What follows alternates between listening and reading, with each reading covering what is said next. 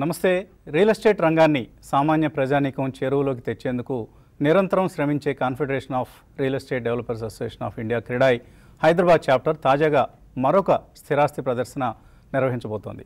ఈసారి క్రీడాయ్ property show ప్రత్యేకత ఏంటంటే దీన్ని తూర్పు హైదరాబాద్లో నిర్వహించనుండడం. సరూర్ నగర్ ఇండోర్ స్టేడియంలో ఇవాళ రేపు జరగనున్న ఈ ఎగ్జిబిషన్లో సుమారుగా యాభై ఐదు మందికి పైగా డెవలపర్స్ బిల్డింగ్ మెటీరియల్ తయారీదారులు అలాగే బ్యాంకర్స్ కూడా పాల్గొనబోతున్నారు. ఉప్పల్ నుంచి ఎల్బీ నగర్ అలాగే in fact not just Uppal Yadadri నుంచి అనుకోవచ్చు. యాదాద్రి నుంచి ఉప్పల్ వరకు అలాగే ఎల్బీ నగర్ నుంచి దిల్సుఖ్ నగర్ వరకు ఇటు కొంతమేరకు మన ఆదిబాట్ల లాంటి ప్రాంతాల వరకు విస్తరించిన తూర్పు హైదరాబాద్ ప్రాంతంలో ఇళ్ళు కొనుక్కోవాలి అనుకునే వారికి ఇదొక గోల్డెన్ ఆపర్చునిటీ సువర్ణ అవకాశం. హైదరాబాద్ నగరం నలువైపులా స్థిరాస్తి అభివృద్ధికి అవకాశాలు అపారంగా ఉన్నాయి అని తెలియజేసే ఉద్దేశంతో క్రెడాయి హైదరాబాద్ చేపట్టిన ఈ ప్రయత్నం గురించి మనతో మాట్లాడేందుకు ప్రస్తుతం స్టూడియోలో ఉన్నారు శ్రీ రామకృష్ణారావు గారు హైదరాబాద్ క్రీడాయి అధ్యక్షులు అలాగే జనరల్ సెక్రటరీ రాజశేఖర రెడ్డి గారు క్రీడాయి హైదరాబాద్ ట్రెజరర్ గౌర ఆదిత్య గారు క్రీడాయి హైదరాబాద్ ట్రెజరర్ ముగ్గురు సిద్ధంగా ఉన్నారు. So thank you very much sir and welcome to TV five studios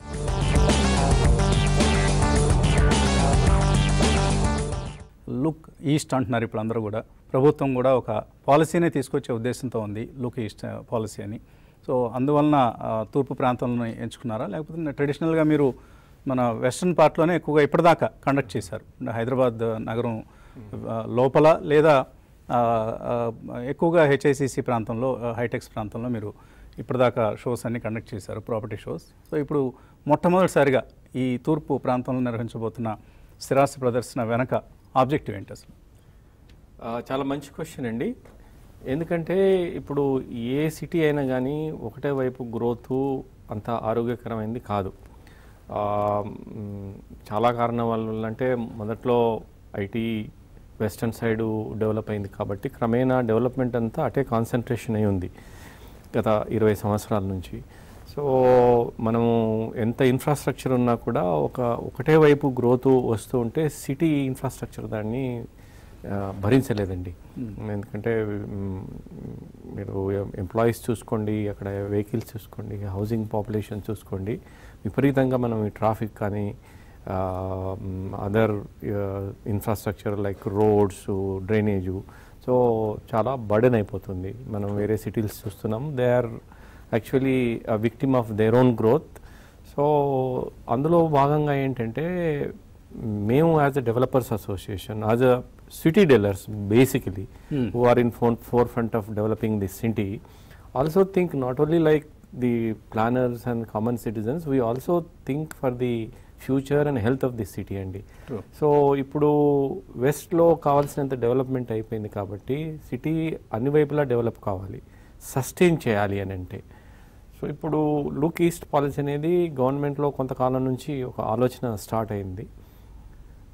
మన మేము మినిస్టర్ గారు మ- ఎంఏయుడి మినిస్టర్ గారు కేటీ రామారావు గారు ఇచ్చినప్పుడు not only like east east north south కూడా అన్నారు. సో ఇప్పుడు ప్రస్తుతానికి ఏంటంటే ఈస్ట్లో ఇండస్ట్రీస్కి ఐటీ ఇండస్ట్రీ కానివ్వండి మ్యానుఫ్యాక్చర్ ఇండస్ట్రీ కానివ్వండి అక్కడికి రావడానికి కావాల్సిన అన్ని అంగులు ఆల్రెడీ ఉన్నాయండి. మీకు బేసిక్గా రోడ్ కనెక్టివిటీ చాలా బాగుంది. మెట్రో అయితే అటువైపు నుంచే స్టార్ట్ అవుతుంది మీకు ఉప్పల్ నుంచి. ప్లస్ తెలంగాణలో ఉండే జిల్లాలు చాలా వరకు. సో ప్రతి ఇన్ఫ్రాస్ట్రక్చర్ అంటే మన ఒక ఇండస్ట్రీస్కి డెవలప్ కావడానికి కావాల్సిన హ్యూమన్ రిసోర్సెస్ కానీ సోషల్ ఇన్ఫ్రాస్ట్రక్చర్ అని already is there actually city of Hyderabad starts from east and సౌతే కదా మొదటి నుంచి సౌత్ సౌత్ నుంచి కాస్త ఈస్ట్కి వెళ్ళింది. At least now the government has realized that alternative suburbs should be developed అని. సో దీంట్లో భాగంగానే లుక్ ఈస్ట్ పాలసీ అని అంటున్నారు గవర్నమెంట్ వాళ్ళు. సో మేము కూడా ఒక అడుగు ముందేసి వాళ్ళ పాలసీ డిక్లేర్ చేయకముందే why not we take this initiative అని మేము ఈస్టర్న్ సైడ్ ప్రాపర్టీ ఎగ్జిబిషన్ పెడుతున్నాము. Really appreciate for being proactive organization ఎందుకంటే ఇంతకుముందు బంగారు తెలంగాణ ఉన్నప్పుడు కూడా CREDAI was the first one to rise the slogan so Hyderabad as a విశ్వనగరంగా గుర్తించాలి. సో అలాగే ఇప్పుడు కూడా లుకిస్ట్ పాలసీ పేరిట గవర్నమెంట్ చేసే ప్రయత్నానికి మీ వంతు సహకారం మీరు అందించే ప్రయత్నం చేస్తారు. అవునండి. సో ఈసారి ఈస్టర్న్ సైడ్ కూడా అంటే వెస్టర్న్ సైడ్ ప్రతి సంవత్సరం ఎలాగో చేస్తాం. స్టాండర్డ్ సో ఈ- ఈ సంవత్సరం నుంచి ఈస్టర్న్ సైడ్ స్టార్ట్ చేసాము. చాలా అంటే మేము ఊహించలేనంత రెస్పాన్స్ ఉందండి. మా స్టాల్స్ అన్ని బుక్ అయిపోయాయి. మేము యాభై ఐదు అనుకుంటే అరవై అరవై ఐదు స్టాల్స్ బుక్ అయిపోయాయి. బ్యాంకర్స్ నుంచి అనండి వెండర్స్ నుంచి. డెవలపర్స్ అయితే చాలా ఉత్సాహంగా ఉన్నారు. సో ఈ సరూర్ నగర్ ఇండోర్ స్టేడియంలో రేపు ఎల్లుండి తొమ్మిదో తారీఖు పదో తారీఖు fact. చేయబోతున్నాము. సో మా ఇన్ఫాక్ట్ మరి కొద్దిసేపట్లో ప్రారంభం కాబోతుంది. ప్రారంభం కాబోతుంది. మనం ఎయిట్ థర్టీకి ఇక్కడ కూర్చున్నాం. అవునండి. సో టెన్ ఓ క్లాక్కి. మీ ప్రదర్శన ప్రారంభం కాబోతుంది. సో మా ఎవరు ఇనాగ్రేట్ చేస్తున్నారు? మన సబితా ఇంద్రారెడ్డి గారు తర్వాత మల్లారెడ్డి గారు ఇద్దరు మినిస్టర్స్ ఇనాగ్రేట్ చేస్తున్నారండి. సో రాజశేఖర్ గారు ఇప్పుడు మన రామకృష్ణ గారు చెప్పినట్లుగా మంచి డిమాండ్ వచ్చింది అంటున్నారు అరవై వరకు స్టాల్స్ రకరకాల డెవలపర్స్ ఏర్పాటు చేయబోతున్నారు. బహుశా సరూర్ నగర్ ఇండోర్ స్టేడియం కెక్కిరిసిపోబోతోంది ఇవాళ రేపు కూడా.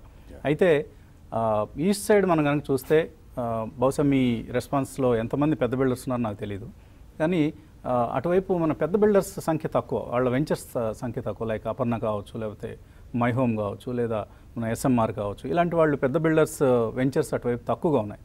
సో ఏమైనా ఈసారి మీకు పెద్ద బిల్డర్స్ నుంచి ఎటువంటి రెస్పాన్స్ ఉంది ఈ ప్రాపర్టీస్ పెద్ద బిల్డర్స్ అన్నది ఎందుకంటే it there is an untapped potential in the east eastern side which other big builders are ignoring ఏమో అనిపిస్తుంది నాకు. నో ఇక్కడ మీ ప్రశ్నకు సమాధానం ఎలా అనంటే ఇక్కడ కూడా మనం రెండు వేల పద్నాలుగు నుంచి మార్కెట్ కండిషన్స్ తీసుకోవడం జరుగుతుందండి.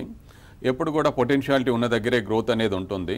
సో మనకి we have to thank in front of all the maven this platform KCR garu మొదటిసారిగా మా ప్రాపర్టీ షో జరిగినప్పుడు we created a platform he came ఆయన ఇచ్చిన వరాల జల్లు వల్ల చెప్పాలని అనుకుంటే that is like total transformation of the industry అని చెప్పొచ్చు.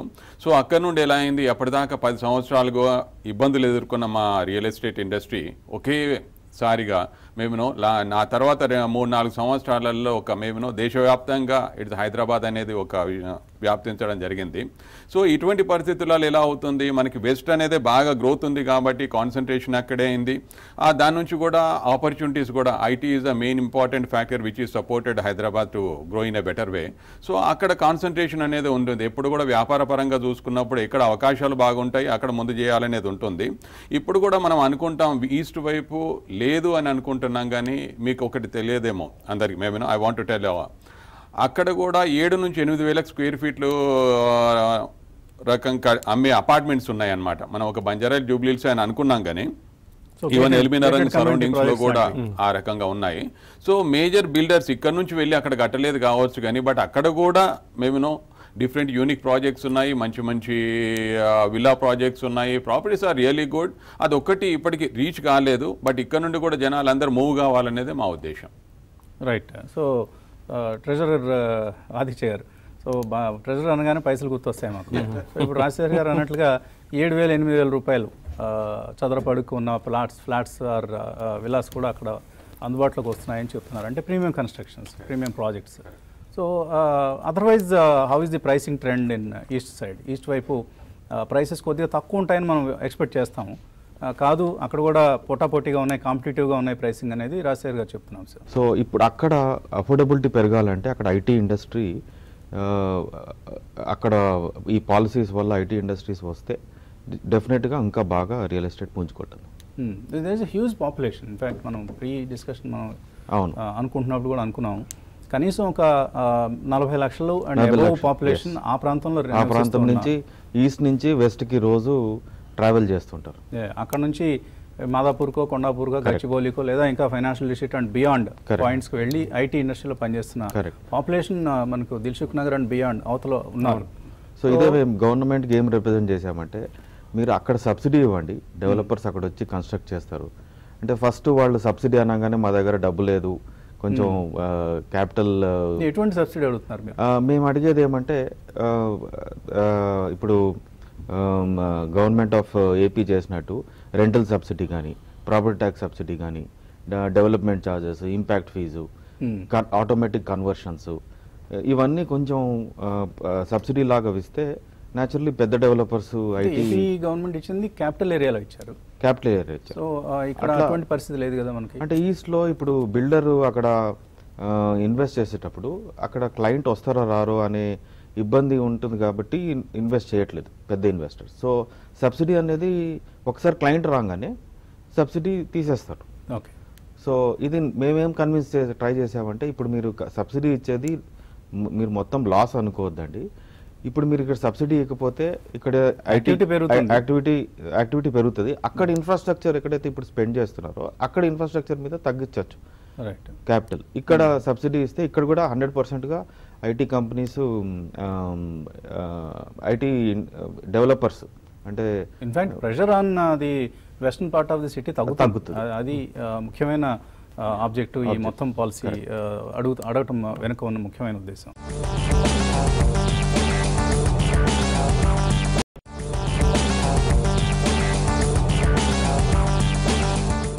సో ఇప్పుడు లుకిస్ట్ పాలసీలో మనకు కావాల్సింది ఏంటి అంటే వెస్ట్రన్ సైడ్ డెవలప్ అయినట్లుగా ఒక ఇండస్ట్రీ. అది ఐటీ కావచ్చు మరొక ఇండస్ట్రీ కావచ్చు డెవలప్ కావాలి. లేకపోతే మనకు ఆ గ్రోత్ అనేది అటువైపు రాదు అనేది కూడా అందరికీ తెలిసిన అంశమే.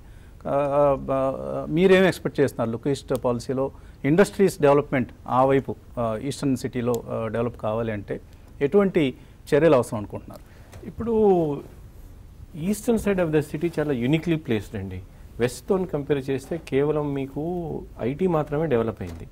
మిగతా ఇండస్ట్రీస్ రావడానికి కూడా అవకాశం లేదు. ఎందుకంటే మనకి గోపన్పల్లి అండ్ బియాండ్ ఇంకా ఇంకా ముందే ట్రిపుల్ వన్ జీవో ఉందండి. బయో కన్జర్వేషన్ జోన్ ఉంది. మీకు దాదాపు ఎయిర్పోర్ట్ దాకా బయో కన్జర్వేషన్ సో మీకు మ్యానుఫ్యాక్చరింగ్ ఇండస్ట్రీస్ అక్కడ అటువైపు వచ్చే అవకాశాలు లేవు. కానీ తీసివేస్తారనే ఒక వదంతి ఉంది కదా? ఎంతవరకు కరెక్ట్? ఇప్పుడు తీసివేయడం అని అంటే అంత ఈజీ కాదండి ఎందుకంటే ఎన్విరాన్మెంట్తో సంబంధించిన విషయము. So citizens are very sensitive about that. ఎందుకంటే ఎన్విరాన్మెంటల్ బికమ్ హ్యూజ్ ఇష్యూ ఇప్పుడు. So everybody is concern about it so ఈస్ట్లో మీరు అందుకనే చూడండి మీకు నెక్స్ట్ ఇండస్ట్రీ ఎక్కడ వచ్చింది? ఆదిబట్ల దాకా వెళ్ళవలసి వచ్చింది మనం. అక్కడ దాకా మీకు ఈ ట్రిపుల్ వన్ శంషాబాద్ దాకా ట్రిపుల్ వన్ ఉంది. ఇప్పుడు మీరు ఈస్ట్ సైడ్ తీసుకో తీసుకోండి. మీకు ఆ ఇష్యూస్ లేవు. ట్రిపుల్ వన్ సమస్య లేదా లేదు. మీకు బ్రహ్మాండమైన రోడ్ కనెక్షన్ ఉందండి. మీరు ఇప్పుడు ఉప్పల్ నుంచి వరంగల్ హైవేకి ఒక నైన్ కిలోమీటర్స్ లెంత్ ఉన్న ఓవర్ బ్రిడ్జ్ చేస్తున్నారు. ఒకవేళ అది అయిందనుకోండి Warangal highway is national highway now. So మీకు వరంగల్ దాకా ఇండస్ట్రీస్ మ్యానుఫ్యాక్చరింగ్ ఇండస్ట్రీస్ వేరే సర్వీస్ సెక్టర్ రావడానికి అవకాశం ఉంది. విజయవాడ హైవే ఉంది మీకు. మళ్ళీ సాగర్ హైవే ఉంది. They are all converge in LB Nagar. మీకు అటువైపు ఒక biotech industry of course Karimnagar side Gundla Pochampally వైపు బయోటెక్ ఫార్మా ఉంది. మేడ్చల్లో మనకు హాస్పిటల్స్ ఉన్నాయి. మెడిసిటీ లాంటివి కావచ్చు ఇటు ఇతర హాస్పిటల్ అలాగే షామీర్పేట్ సైడ్ ఏమో రిక్రియేషన్ క్లబ్స్ ఇవన్నీ వస్తున్నాయి. And Yadadri anyway is going to be huge pilgrim అండి. సో ఇన్ని అడ్వాంటేజ్ మనకు ఈస్ట్ సైడ్ కనిపిస్తున్నాయి. ఇన్ఫాక్ట్ మనకి ఇన్ఫోసిస్కి ఇచ్చారు అటు- సైడ్ నాలుగు వందల ఎకరాలు. ఆ, 400 ఎకరాలు జరిగింది. కానీ ఇన్ఫోసిస్ వచ్చిన తర్వాత ఏ- ఏమి ఏమాత్రం మనకు అక్కడ ఇతర ఇండస్ట్రీస్ రాలేదు. దానికి కారణాలు ఏమైనా కావచ్చు. ఇన్ఫోసిస్ ఇట్ సెల్ఫ్ మొదట్లో కొద్దిగా స్లోగా వాళ్ళు ప్రోగ్రెస్ చూపించారు. తర్వాత ఇన్ఫోసిస్ ఫుల్ ఫ్లెడ్ క్యాంపస్ వచ్చిన తర్వాత కూడా చుట్టూ వస్తాయి అనుకున్నాం. But రాలేకపోయింది. Maybe because of lack of incentives incentives అండి. ఇప్పుడు ఏమైపోయిందంటే ఫోకస్ అంతా ఒకవైపు మారిపోయినప్పుడు అందరూ అటువైపు వెళ్ళాలనుకుంటారు. అక్కడ ఒక ఒక అట్మాస్ఫియర్ క్రియేట్ అయిపోయిందండి. ఒక environment IT environment so that needs to be replicated ఇప్పుడు బెంగళూరు చూడండి. In spite of Bangalore's bad traffic వగేరా వగేరా మీరు ఏ డైరెక్షన్లో వెళ్ళినా కానీ అక్కడ ఐటీ ఇండస్ట్రీస్ ఉన్నాయి. మీరు నార్త్ సౌత్ ఈస్ట్ వెస్ట్ ఎటువైపు వెళ్ళండి. సో అక్కడ so that kind of what call encouragement should be brought in Rajasekhar garu మనం ఇప్పుడు కోర్స్ ఒక నాంది ప్రస్తావన లాగా జరుగుతోంది. ఇప్పుడు ఈస్ట్ సైడ్ మనం ఫోకస్ చేయాలి. ఫస్ట్ ప్రాపర్టీ షో కూడా క్రెడై నుంచి వస్తుంది. అలాగే గవర్నమెంట్ లుకిస్ట్ పాలసీ అంటుంది. సో వీటన్నిటి నేపథ్యంలో ఈస్ట్ సైడ్ ఫ్లాట్స్ కొనాలి లేకపోతే ఒక ప్లాట్ కొనాలి లేకపోతే ఒక విల్లా అక్కడ కొనుక్కుందాం సొంత ఇల్లు అటువైపే వెళ్దాం అనుకునే వాళ్ళకి as of now it's it's an emerging area sun rise area లాంటిది. సో అది కూడా భవిష్యత్తులో ఓ మాదాపూర్ లాగా ఓ కొండాపూర్ లాగా ఓ గచ్చిబౌలి లాగా లేకపోతే ఒక బంజారా హిల్స్ జూబ్లీ హిల్స్ లాంటి లగ్జరీ ఏరియాస్ లాగా డెవలప్ అయ్యే అవకాశాలు ఎంతవరకు కనిపిస్తున్నాయి మీకు? డెవలప్మెంట్ అనేది ఉండాలంటే మన హైదరాబాద్ అభివృద్ధి కావాలంటే నలువైపులా పెరగడం అవసరం. సో ఇక్కడ మనం మెయిన్గా చూడాల్సింది ఎలా అంటే ఇప్పుడు మొదటి నుంచి అనుకున్నప్పుడుగా వెస్ట్ పార్ట్ ఒకటే బాగా డెవలప్మెంట్ జరిగింది. సో ఇదే ఉద్దేశం లోపల మనకు అక్కడ కూడా ఇప్పుడు మనం ఈస్ట్ లోపల అవకాశాలు లేకున్నా కూడా చాలా వరకు గ్రోత్ ఉంది అక్కడ. సో రెసిడెన్షియల్ లోపల చూస్తే మనకి ఎంత స్ప్రెడ్ అవుట్ అయిందనంటే ఆల్మోస్ట్గా వనసలిపురం ఏరియా వరకు అక్కడ తర్వాత ఉప్పల్ నుంచి గట్కేసర్ వరకు కూడా చాలా వరకు డెవలప్మెంట్ ఉంది. ఇప్పుడు కొత్తగా వచ్చే రావిరియాల కానీ ఆదిపట్ల ఏరియాలలో కూడా డెవలప్మెంట్ అనేది రావాలా? సో ఈ ఒకటే పొటెన్షియాలిటీ మన రెసిడెన్షియల్ సెగ్మెంట్ అనేది ఒకటే ఉన్నంతసేపు ఏమవుతుందని అంటే again they have to go for employment ఎక్కడైతే ఉద్యోగ అవకాశాలు బాగుంటాయో వాళ్ళు కూడా ఒక పార్ట్ ఆఫ్ ద సిటీలో ఉండి ఇంకో పార్ట్కి వెళ్ళడము ఈ ట్రాన్సిట్ ట్రాన్స్పోర్టేషన్ టైం అనేది కూడా కొంచెం తగ్గితే బాగుంటుంది అనేది. అక్కడ అవకాశాలు కూడా బాగుండాలి? మేబీనో ఎంప్లాయ్మెంట్ ఒకటే కాకుండా మేబీనో బెటర్ స్కూలింగ్ సో ఇటువంటి కొన్ని కొన్ని క్రియేటివ్ చేస్తున్న కొద్ది ఏమవుతుందని అంటే ఆ పార్ట్ ఆటోమేటిక్గా డెవలప్ అవుతుంది. అది చారు ఇప్పుడు మన రాజశేఖర్ గారు చెప్పినట్లుగా కొంత సోషల్ ఇన్ఫ్రాస్ట్రక్చర్ అనేది ఆల్రెడీ ఇప్పటికీ మంచి ఇన్ఫ్రాస్ట్రక్చర్ ఉంది అక్కడ. మన స్కూల్స్ ఫర్ ఇన్స్టెన్స్ చూస్తే there are good schools in and around the Dilsukh Nagar area and there are engineering college మనకి ఇటు గండిపేట తర్వాత uh, టువర్డ్స్ విజయవాడ వైపు ఎక్కువ ఇంజనీరింగ్ కాలేజ్ లొకేట్ అయి ఉన్నాయి. మంచి కాలేజ్ కూడా ఉన్నాయి చాలా మంచి engineering college so HR problem లేదు ఆ ఏరియాలో అలాగే uh, అన్నీ ఉన్న అల్లునోట్లో సేరినట్లుగా uh, మంచి పాపులేషన్ ఉంది హ్యూజ్ పాపులేషన్ ఉంది ఆ ప్రాంతంలో. అండ్ మంచి మల్టీప్లెక్స్లు వచ్చాయి ఈ మధ్య కాలంలో. ఇంతకుముందు మనం చూసిన థియేటర్ స్థానంలో కొత్త కొత్త మల్టీప్లెక్స్లు వచ్చాయి. షాపింగ్ కాంప్లెక్స్ ఉన్నాయి. ఈ అదొకటి వచ్చింది అంటే ఇంకా ఈస్ట్ పార్టీని ఎవరూ పట్టుకోగలిగిన పరిస్థితి ఉండదు. వెస్ట్ని కూడా మించిపోయే అవకాశాలు ఈస్ట్లో కనిపిస్తాయి మనకు. సో ఈ నేపథ్యంలో ఇన్వెస్ట్ చేద్దాం ఈస్టర్న్ సైడ్ అనుకునే వాళ్ళకి మీరు ఎటువంటి సలహా ఇస్తారు? అంటే మీరు హెచ్ఆర్ ప్రాబ్లం లేదన్నారు కదా. యాక్చువల్లీ హెచ్ఆర్ ప్రాబ్లం అనేది ఇప్పుడు ఐటీ కంపెనీస్ స్కూల్స్ ఒక ఇన్ఫ్రాస్ట్రక్చర్ చూస్తారు. అది కాక నైట్ లైఫ్ చూస్తారు. ఆ నైట్ లైఫ్ అనేది లేదు. ఇప్పుడు మాల్స్ అని ఇప్పుడిప్పుడు వస్తున్నాయి. బట్ ఇంకా మంచి మాల్స్ రావాలి. మంచి రెస్టారెంట్స్ రావాలి. ఒక ఫైవ్ స్టార్ హోటల్ కూడా లేదు ఈస్ట్ సైడ్ ఒక మైక్రో బ్రెవరీ ఉందా సైడ్ మైక్రో బెవరీస్ అసలు లేదు. లేవు. So an integral part of IT guys life. మంచి ఫైవ్ స్టార్ హోటల్ కావాలన్నా కూడా వాళ్ళు బేగంపేట వరకు సో ఇది ఇంకా ఇన్ఫ్రాస్ట్రక్చర్ అనేది గవర్నమెంట్ ఇంకా కాన్సన్ట్రేట్ చేయాలండి. పెద్ద యాంకర్ బీపీఓ అక్కడ ఉంది మనకి జెన్పాక్ట్ ఉంది. జెన్పాక్ట్ ఉంది. బట్ జెన్పాక్ట్లో ఈ రోజు ఓన్లీ టూ ల్యాక్ స్క్వేర్ ఫుటే వాళ్ళు చేయగలిగారు. Out of those they can do much better వాళ్ళకి ఇంకో ఫెసిలిటీ ఉంది Hmm. పోచారాం దగ్గర. అక్కడ ఏమి మనకి they don't have people to travel Uppal నుంచి జెన్పాక్ దాకా వెళ్ళాలి. సో ఇక్కడ వాళ్ళ క్యాల్కులేషన్స్ ఏంటంటే per head ట్రాన్స్పోర్టేషన్కే six to seven thousand rupees ఇస్తున్నారు. Right but that is that translates to around sixty rupees square foot అది మీకు వెస్ట్లో దొరుకుతుంది. ఓకే సో వాళ్ళు ఏమంటున్నారంటే ఇక్కడ మాకు సబ్సిడీ ఇస్తే ఇక్కడే డెవలప్ చేస్తాము గురుగాం అటు అక్కడ అక్కడ పోకుండా ఇక్కడే చేస్తామని. They are also thinking to develop their own campus in Uppal so ప్రభుత్వం ఇమ్మీడియట్గా చేయవలసిన తక్షణం చేయవలసిన కర్తవ్యం రెండు మూడు కనిపిస్తాయి మనకి. ఒకటి of course robust policy like look east అంటున్నారు ఇప్పుడు అది. ఒకటే కాదండి. ఆ పాలసీ మే- major- రెండోది major ఆ, ఒక policy రెండు మేజర్ యాంకర్ ఇన్వెస్టర్స్ ఒక MNC and maybe one domestic BPO మీరు అన్నట్లు ఏ ఐసిఐసిఐ హెచ్డిఎఫ్సిఓ అటువంటి ఒక పెద్ద కంపెనీ అక్కడ బీపీఓ ఆపరేషన్ స్టార్ట్ చేయడం ఈ రెండు వస్తే maybe the acceleration will start immediately ఇప్పుడు ఇమీడియట్గా అక్కడ ఇండస్ట్రియల్ ల్యాండ్స్ చాలా ఉన్నాయండి. గవర్నమెంట్ రీసెంట్గా పొల్యూటెడ్ ఇండస్ట్రీస్ని ఓవరాల్ బియాండ్ పో పోవాలని చెప్పి నోటీసెస్ ఇచ్చారు. అందరూ they are going slowly to beyond overall ఇప్పుడు ఆ ల్యాండ్స్ అన్ని ఫ్రీగా ఉన్నాయి. సో మేమేం గవర్నమెంట్ రిప్రజెంట్ చేసామంటే మీరు ఒక ఫైవ్ ఏకర్ ల్యాండ్ Hmm. ఒక పాలసీ చేయండి. ఐటీ ఇంత కట్టండి. బ్యాలెన్స్ మీరు మాల్ కట్టుకోండి ఆర్ హోటల్ కట్టుకోండి. ఆ- ఆ- ఆ వెసులుబాటు ఇమ్మని చెప్పి అడిగాం. దానికి సబ్సిడీ ఏం లేదు. Government will not lose any money Right. So that that that they taken very positively Okay. And they will be in fact అమరావతిలో ఆ, ఇంతకుముందు జరిగినట్లు గత ప్రభుత్వం హయాం జరిగినట్లు కొన్ని ల్యాండ్స్ని వాళ్ళు హోటల్స్కి లైక్ ఎడ్యుకేషన్ ఇన్స్టిట్యూషన్స్కి Allot చేశారు. అలాట్ చేశారు. For a very subsidized price of course అవి కొన్ని టేక్ ఆఫ్ అయ్యాయి కొన్ని కాలేదనుకోండి. అలాగే ఆ, ఆ, రామకృష్ణ గారు మనకి ఈస్ట్ సైడ్ ఒక ప్రాబ్లం కూడా ఉంది రియల్ ఎస్టేట్ పరంగా. లిటిగేషన్ ఎక్కువ అక్కడ. లిటిగెంట్ ల్యాండ్స్ కొన్ని ప్రాపర్టీస్ చాలా ఇంతకుముందు ఉండేవి మరి ఇప్పుడు పరిస్థితి ఎలా ఉందనేది తెలియదు ప్రాబ్లం సాల్వ్ అయింది లేదు? అంటే లిటిగేషన్ అనేది హైదరాబాద్లో బికాస్ ఆఫ్ హిస్టారికల్ రీజన్స్ అండి. ఎందుకు ఆంధ్ర వైపు ల్యాండ్స్ ఎందుకు లిటిగేషన్ ఉండదు? ఓన్లీ కేవలం హైదరాబాద్ తెలంగాణలోనే ఎందుకు లిటిగేషన్ ఉంటుంది? అంటే వాల్యుబుల్ ల్యాండ్స్ కాబట్టి. అగ్రికల్చర్ మొదటి నుంచి అక్కడ ఉంది కాబట్టి ఆ ల్యాండ్స్ అనేది అంటే they were productive lands basically so convert అయ్యే కమర్షియల్ కన్వర్ట్ అయ్యే క్రమంలో రకరకాల. ప్రోడక్టివ్ ల్యాండ్స్ కాబట్టి ఎప్పుడు వాటి పేపర్స్ జాగ్రత్తగా పెట్టుకున్నారు. ఇప్పుడు ఒక యాభై అరవై ఏళ్ళ కింద ఇండిపెండెన్స్ వచ్చిన తర్వాత రాకముందు ఈ హైదరాబాద్ చుట్టుముట్టు ఉండే ల్యాండ్స్ అన్నీ గుట్టలు రాళ్ళు ఇవన్నీ అర్బనైజేషన్ మూలంగా వాల్యూ పెరిగిపోయింది. అప్పుడు వెనకట వాటికి వాల్యూ లేదు కాబట్టి వాటి పేపర్ వర్క్ సరిగా లేదు రికార్డ్ సరిగా పెట్టుకోలేదు. అంతే. యాక్చువల్లీ వెస్ట్లోనే లిటిగేషన్ ఎక్కువ వెస్ట్లో రాళ్ళు రప్పలు కాబట్టి ఎవరు సరిగా రాసుకోలేదు. లిటిగేషన్ ఎక్కువ ఉంది ఇక్కడ. రైట్ ఈస్ట్లో తక్కువ ఉంది. మీరు కాస్త మీరు they are all arable lands still recently ఏది అగ్రికల్చర్ అయిన ల్యాండ్స్ నిన్న దాకా మీరు చూడండి ఉప్పలు దాటిపోతే ఇప్పుడు కూడా వ్యవసాయం చేస్తారు కూరగాయలు పండిస్తారు. సో వాటి అక్కడ లిటిగేషన్ తక్కువ ఉంది యాక్చువల్గా.